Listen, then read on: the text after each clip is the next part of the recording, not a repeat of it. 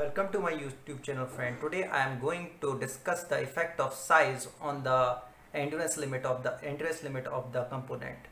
Here SE dash denotes the endurance limit stress of rotating beam ideal specimen that is for the ideal specimen and SE denote for the actual condition the component which is subjected to the fluctuating stress in the actual condition have endurance limit SE. So we will establish in this video the relation between SE and SE dash using the size factor.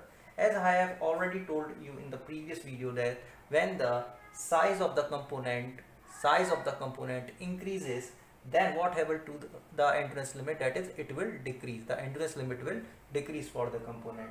Okay friend? And as the size of the component decreases the endurance limit will increase. Okay? Now the reason I have provided for this was reason for this was that number of flaws that is the number of defects defects in the component increases as the size increases. As the size increases the number of defects in the component increases. That's why the endurance limit of the component tend to decrease. So this was the reason for this. Now we will introduce a factor to account for the size of the specimen that is Ks. This is called as the size factor and it varies from 0 to 1. Okay friend.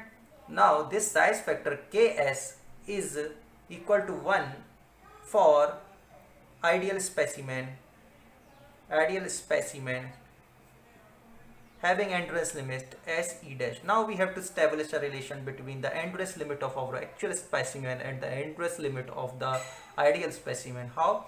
Using this factor that is the size factor where Ks is the size factor. Okay, this Ks is the size factor which varies from 0 to 1.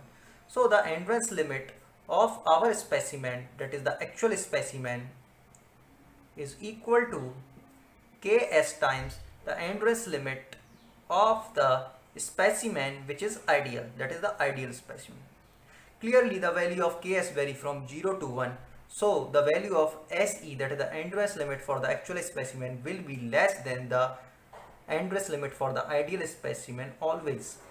Okay fine? So this was all for today's video. And friend you can watch all my videos related to the design of the component against fluctuating loading uh, in the lecture series that I have taken. And I have taken a lot of videos. You can go to that package and you can see all the videos related to the fluctuating loading condition so thank you friend for watching my video. And please don't uh, forget to subscribe the bell icon subscribe my channel and press the bell icon. So thank you friend